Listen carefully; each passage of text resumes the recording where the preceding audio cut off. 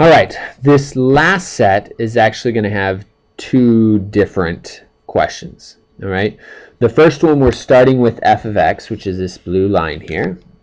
All right, so we're going to actually label that.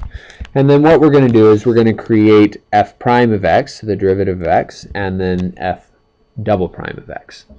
Okay, now the thing that you need to remember is that the stationary points and remember stationary points are max, min, and horizontal inflection points, hips. Hmm, that's kind of cool. So horizontal inflection points or points of inflection. Does that make anything cool? Horizontal points of inflection. Boy? Uh, no, hip is much, much cooler. Anyway, so hips, um, the stationary points will become the x-intercepts. So if you start with f of x, when you go to the derivative, the stationary points of the original function will become the x-intercepts of the derivative function, right? Because the derivative is 0 there, therefore that's the x-intercept. Now, one of the ways that I found most helpful to do this is to do a number line, right? You don't have to do this number line, the sorry, the sign diagram, but a lot of people find it helpful. So I find my maximums and minimums here. There's two of them. One is at 1, and the other one is at 3. Okay? Now I'm looking at my original graph. My original graph has a negative slope here. Remember that derivative is the slope of the tangent of the original function. And so here this is all negative slopage. So we're going to have a negative slope there. After this, you'll notice that it goes positive. You do have to be careful. If this is an inflection, then it might be negative again. But it's not. It goes back positive again, so we'll have a positive slope there. And then after this point, you now have a negative slope again. Now, we use the original graph to tell us about the slope. Now, we're going to use, that actually gives us the values of the derivative. So now we want to make sure that we match that. So the negative values should be below the below the x-axis. I hit the x-intercept there. Then I need positive values, but at some point I got to come back down and have an x-intercept again, which means it's got to come back down and then go down to now negative values. Okay, now you'll notice the original graph looks kind of like a cubic. Not just a cubic, but remember this would be a positive cubic this is a negative cubic. And because it was a negative cubic, then we expect the derivative to be a negative quadratic, which it is. A negative quadratic goes down. So we're going to have our x-intercepts here and here. And if you want, you can kind of put some dash marks or something to show that you understand those correlate. And then we'll just kind of draw our graph something like this. Do, do, do, do, do. And so there you have your derivative graph. Now, to do the second derivative graph, you're going to do exactly the same thing, except now we're just going to look at the derivative and do the derivative of that. In the end, it should also correlate to the original graph, but to be honest, we're just going to ignore that for now. So again, we're going to create a graph. We're going from a graph to its derivative, so I'm looking at the stationary points of the derivative graph. Stationary point is right there at 2, it looks like. Okay, so 2 would be my stationary point. Before that, what can you tell me about the slope of my derivative function here? The slope is positive, and then after that, it's negative. Okay, so this is now going to help me get that. Now remember, these signs came from looking at the slopes of the derivative graph. Okay, that will be important later when we go backwards. So I need to start positive, x-intercept, go negative. Okay, so here's my x-intercept. Start positive and go negative. Note again that the derivative of negative x squared, you would move the 2 in front, which should be a negative linear graph, which it is. It's a negative linear slope. Now, the last thing is that you should make sure that your f double prime correlates with your original graph. Okay. Remember, when the double prime is 0, that should be a point of inflection. So we look at our original graph. It looks like maybe I'm changing from concave up to concave down. So yeah, that makes sense.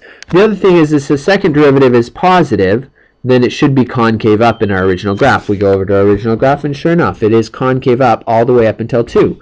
After 2, it's now negative, which means it should be concave down. And so, yeah, we created the second derivative from the first derivative, but it still matches up. The maximum, the inflection point, the root, all have to match up there. Okay? So hopefully that's helpful on that specific question. Now let's look at going backwards. So this graph right here shows f prime. Now we're going to use our knowledge of derivatives to sketch a graph that could be f of x. So we're going backwards. Now remember in the previous one, when f of x had stationary points, f prime of x had x-intercepts. So now we're going backwards. We have this, so the x-intercepts will give us the stationary points of the original function.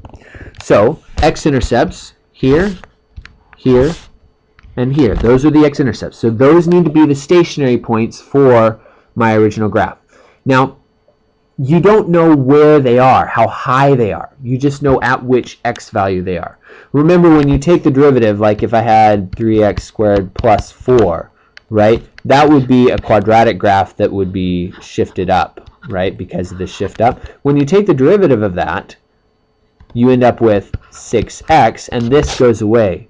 And so that shift up disappears when you take the derivative. You don't know if it was a shift up or a shift down or what. All you know is the slope, and so you can work that out, but you don't know exactly how high or low it is. If you went backwards from here, it would take you to 3x squared, but it wouldn't give you the plus 4. There's no way to get that without other information.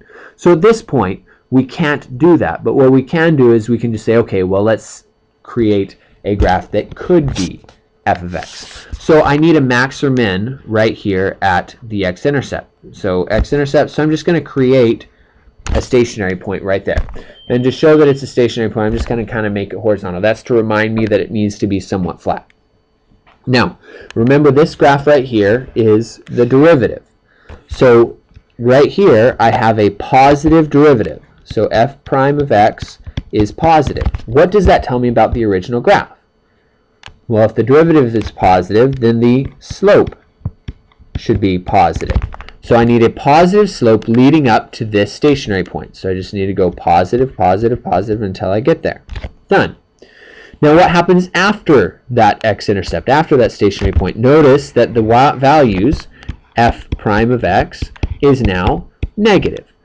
That means that the slope of the original graph should be negative. So we need to have a negative slope. So we go negative, negative, negative.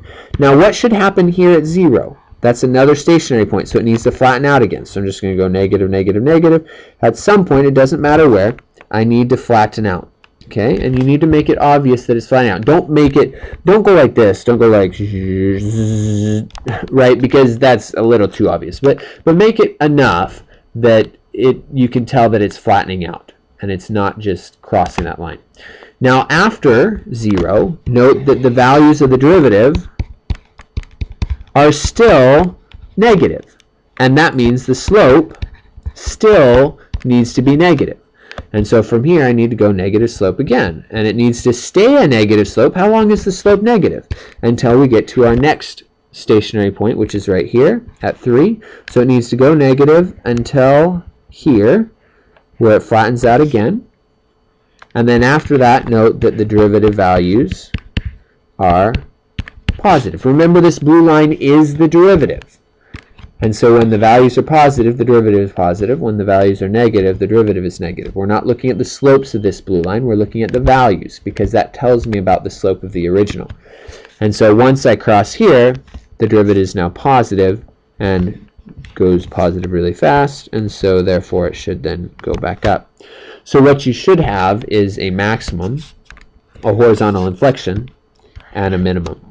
Now, if you want, you can go through and pay closer attention to where the horizontal inflections are, pay attention to where all the sign changes should be occurring, right? Where you have a max or min, that's where you should be having a change in concavity. So you can make those adjustments as necessary if you need to. But this right here would be just fine, showing that you have the correct maximum, horizontal inflection, and minimum. Those are what they're looking for. All right, so that's all for this set of videos, and good luck on the future.